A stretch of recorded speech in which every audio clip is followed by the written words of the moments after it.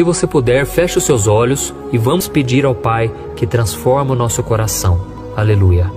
Senhor, meu Deus e meu Pai, eu me coloco na tua presença nesta noite para te agradecer pela vida de cada um que está orando comigo, meu Pai.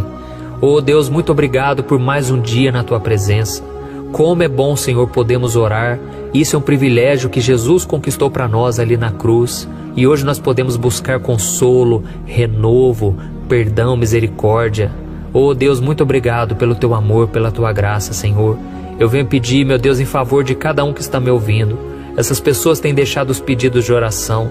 Senhor, atende ao clamor, Pai. Quantas pessoas têm me falado no dia a dia que estão sendo transformadas pelo teu poder através dessas orações. E eu sei, meu Deus, que esse poder não pertence a mim. Eu não sou nada, Senhor, mas eu creio no Espírito Santo que se move entre nós. Ô oh, Espírito Santo, venha encher nosso coração de amor, de paciência, de amabilidade, fidelidade, mansidão, que a gente venha conseguir acreditar no nosso próximo, encorajá-lo, fortalecê-lo e não retribuir na mesma moeda quando alguém nos fizer o mal. Nos ajude, Senhor, a demonstrarmos o amor, porque Jesus disse que nós seremos conhecidos como seus discípulos se amarmos uns aos outros.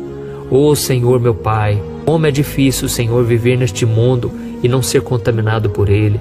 Como é difícil, meu Pai, não deixarmos cair em tentação. Nos ajude, Senhor, nós precisamos de Ti. Quantas pessoas, meu Pai, estão perdendo o amor porque o pecado tem aumentado no seu coração. A tua palavra diz, Senhor, que o amor de muitos se esfriaria no fim dos tempos, porque o pecado iria se multiplicar.